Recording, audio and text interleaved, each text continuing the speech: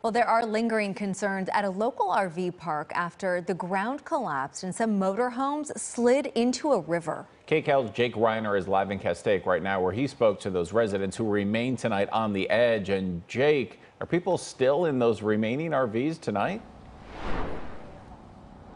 Well, the people that are in their RVs have moved off of that row behind me that collapsed into the river below, and they're doing okay. Like I, you know, like we've been reporting, nobody has been hurt, but you can take a look behind me and you can see this entire section has been blocked off because an entire row of this RV park has collapsed it's kind of weird the difference a day makes. It's not often you get to see the actual end of the road. It's partly why Dan Aird shared his view from the air with us from his drone. You know, it's something you always see on TV, like, oh, it never happens. Now it is on TV. And now it is on TV, yeah. Residents here at the Valencia Travel Village RV Resort in Castaic are just marveling at the amazing the power of water.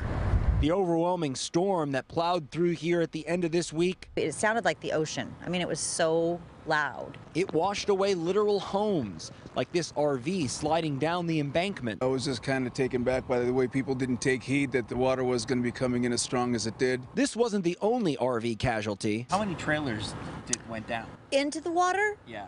I have heard four. We spotted one that drifted at least a few football fields away. It was chaos, but it looked like organized chaos. What Laura Linder Dawkins is referring to is everybody around here really came together in the middle of the night. The night the earth decided to swallow up homes. People were helping out with, with uh, lights, gas, generators, water. And what is that like to see that? Restores my faith in humanity. An insight into what it's like to live here. I've been here for 11 years. I went through a bad breakup and moved here with my two little girls. I was going to be here six months, but to give you an example of what a great place this is, I just stayed.